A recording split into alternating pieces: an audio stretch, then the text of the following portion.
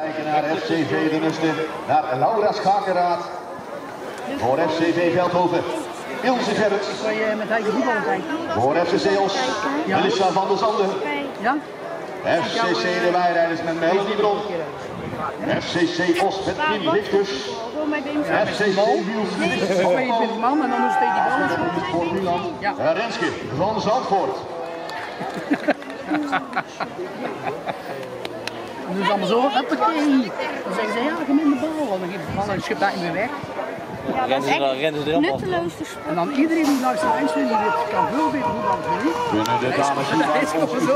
tegen die dame vanuit het moment dat de Velgeel en shirt aan wat we volgend jaar denk ik niet meer terug gaan zien in verband met andere shirts. Maar dat zien we natuurlijk bij meerdere verenigingen. Eh, Het is Renske de Zandvoort die hier als eerste door gaat komen. Waar zit Richters?